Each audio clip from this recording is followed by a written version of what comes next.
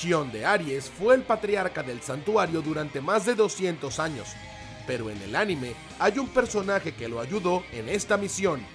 Su nombre es Arles, el hermano de Shion. Hola caballeros y amazonas, bienvenidos al canal. En el video de hoy les traigo los 10 mejores datos sobre Shion y Arles. ¿Les gusta el tema? Entonces hagan clic en el botón de me gusta, suscríbanse al canal, activen la campanita y empecemos con este super video. Curiosidad número 1. El patriarca Shion. Tanto en la historia del anime como en el manga, Shion de Aries fue el patriarca del santuario. Cuidó de los caballeros dorados en su infancia e incluso ayudó a entrenar a muchos de ellos. Sin embargo, su principal discípulo fue Mu de Aries, quien sería su sucesor como caballero dorado. Sin embargo, tenemos una gran diferencia entre el anime y el manga, siendo esta la fecha de la muerte de Shion. En el manga, Shion habría muerto en la revuelta de Saga hace 13 años, cuando el Caballero Dorado, haciéndose pasar por un patriarca, intentó matar a la diosa Atena. Saga era un fuerte candidato para ser el nuevo patriarca, pero Shion se decantaría por Ayoros en su lugar. Dominado por su lado malvado, Saga de Géminis ataca a Shion y finge ser el patriarca por más de 13 años. Pero en el anime, esto ocurre de forma diferente, con Saga matando a Shion después de que Seiya se convierta en el Caballero Pegaso. Así, el antiguo Aries habría muerto poco antes de la batalla de las 12 casas. Pero entonces, ¿a quién mató Saga hace 13 años? Es lo que responderé en la siguiente curiosidad. Curiosidad número 2. La muerte de Arles. En el anime, la revuelta de Saga ocurre de forma diferente. El Caballero Dorado acaba matando al hermano del patriarca Shion, Arles. Arles era el hermano de Shion y asistente directo del patriarca. En el anime, Saga lo mató y se disfrazó con su apariencia durante 13 años, engañando incluso a Shion, uno de los más grandes caballeros de todos los tiempos. Sin embargo, este es un evento solo del anime, ya que Arles no existe en la historia del manga, porque es un personaje de relleno. Curiosidad número 3. Maestro Arles o Ares. En el anime de los Caballeros del Zodíaco, en todo momento se le llama Maestro Ares.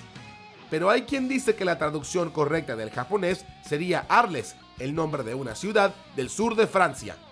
Pero el nombre de esta ciudad en japonés se pronunciaría Aruru, por lo que esta explicación no tiene mucho sentido.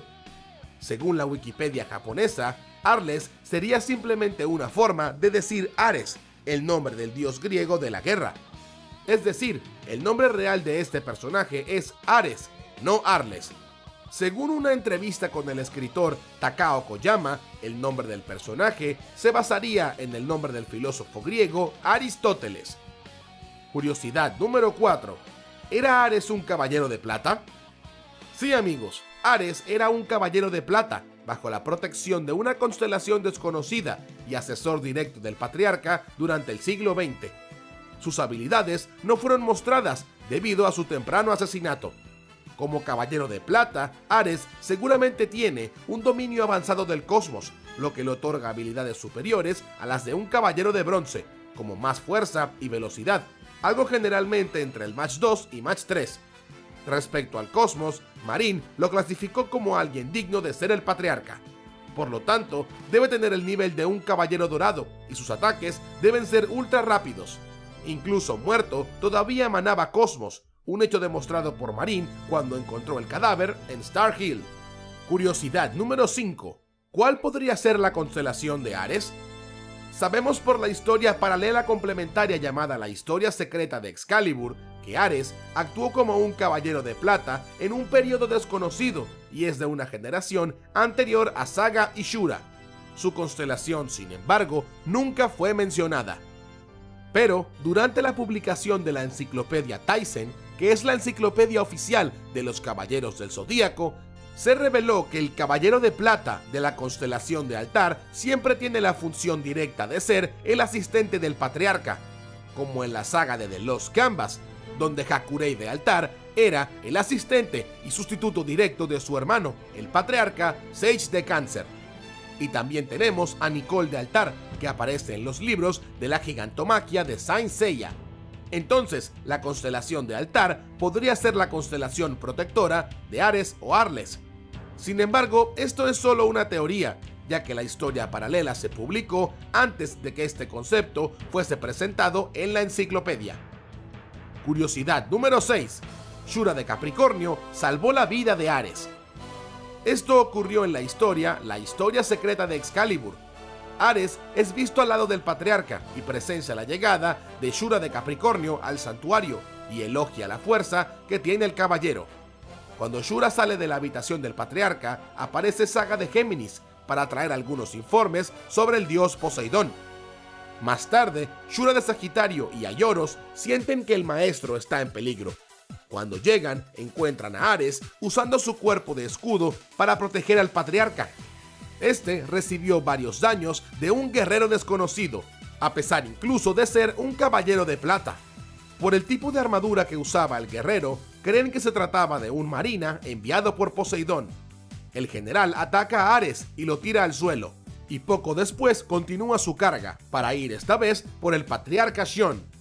Pero Shura consigue evitar que este supuesto general mate al maestro. El enemigo entonces huye y Shura intenta seguirlo, pero Ares dice que es mejor que el caballero permaneciese allí, ya que estaba oscuro y Shura podría ser atacado por sorpresa y derrotado. Curiosidad número 7. Ares descubre el secreto de Saga. Después de la batalla contra el supuesto general Marina, Saga regresa a la habitación del maestro.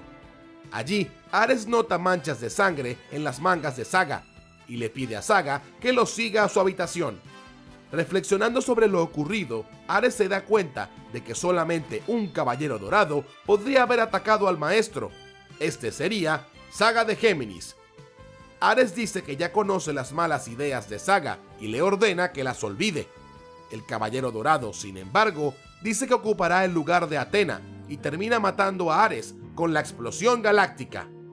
Entonces, Saga decide disfrazarse de Ares y oculta el cuerpo de la víctima en Star Hill. Curiosidad número 8. Marin encontró a Ares Trece años después de la muerte de Ares, cuando Seiya y los demás caballeros de bronce ascendieron a las doce casas, Marín de Águila decide investigar la verdad sobre el patriarca del santuario. Su pregunta era, ¿cómo pudo alguien que alguna vez fue tan bueno convertirse en una persona tan malvada? Entonces, Marín decidió buscar en Star Hill, el pico donde solamente el líder del santuario puede entrar, el lugar donde el patriarca hace predicciones a futuro y también donde se guardan muchos secretos sobre el santuario. Al llegar allí, Marín se enfrenta al cuerpo del maestro verdadero, Ares, quien todavía emanaba un fuerte cosmos. Marín clasifica el cosmos de Ares como el de alguien muy digno de ser el patriarca de los 88 caballeros de Atena. Pero lo más increíble es que incluso después de 13 años de su muerte, el cuerpo de Ares seguía intacto. Curiosidad número 9. ¿Quién le entregó la armadura de Sella de Pegaso? Sabemos que Sella se entrenó durante varios años y tras acabar con Casios, conquistó la armadura sagrada de Pegaso. Pero, ¿quién le dio la armadura a Sella? En el anime es confuso, ya que no sabemos qué patriarca se la entregó entre Ares, Saga y Shion. Pero lo cierto es que en el anime fue Shion quien le entrega la armadura de Pegaso, pero en el manga quien le entrega la armadura fue Saga de Géminis, que ya estaba disfrazado del patriarca Shion. Curiosidad número 10. ¿Cuál es la diferencia entre Saga y Shion en el anime? Y bueno amigos, la gran diferencia entre el patriarca Shion de Aries y el maestro Ares, que sería Saga en el anime, es el casco. Shion viste túnicas blancas y su casco es de color dorado, pero Saga viste túnicas negras y su casco es rojo. Además, Saga también utiliza en ocasiones hombreras rojas, a modo de una especie de armadura llena de púas. Y díganme, ¿les gustaron estos 10 datos sobre Shion y Aries? Por favor, díganmelo en los comentarios. Y por supuesto, gracias por ver este video hasta el final. ¡Hasta la próxima! ¿Alguna vez han sentido todo el poder del cosmos?